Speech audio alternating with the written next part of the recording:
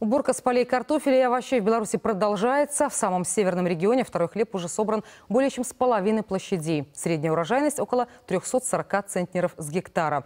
Существенную помощь аграриям оказывают студенческие отряды. И только в Витебской области на полях трудится более двух с половиной тысяч студентов.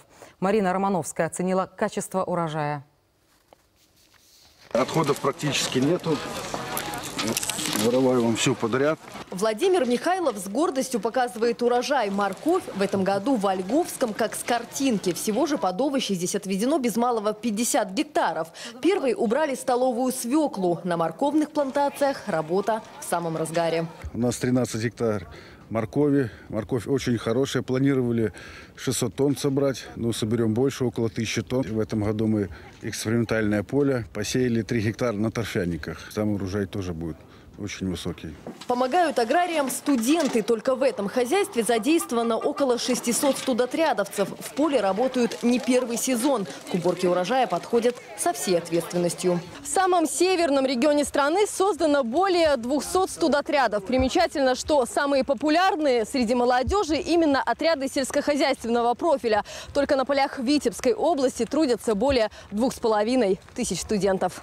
Павел Боденко – житель областного центра, но к труду на земле привык. Сейчас вместе с однокурсниками убирает кормовую свеклу. Плантация уже практически полностью убрана. Для молодежи это заработок. Есть, конечно, конкуренция. Кто-то хочет показать быстрее, лучше. В этом году ребята мы отбираем студенческие отряды, которые уже были в них. Работа ребят построена как в одну смену, так, так и в две смены. Кто-то работает по 6 часов, кто-то работает по 4 часа. Нужны рабочие руки и на переборке картофеля. Урожай второго хлеба рассказывают в хозяйстве, выше, чем в прошлом году.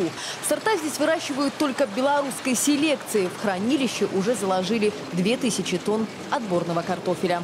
Когда выкупили здание, здесь была старая система охлаждения. Мы ее демонтировали и поставили современное новое оборудование с воздухоохладителями, которое, в общем, обеспечивает самые оптимальные условия хранения. В этом году в хозяйстве немало экспериментировали. К примеру, раннюю капусту укрывали спанбондом. Результат получили неплохой. Скоро приступят к уборке поздней капусты. И здесь, рассказывают опытные аграрии, урожай также ожидается богатый.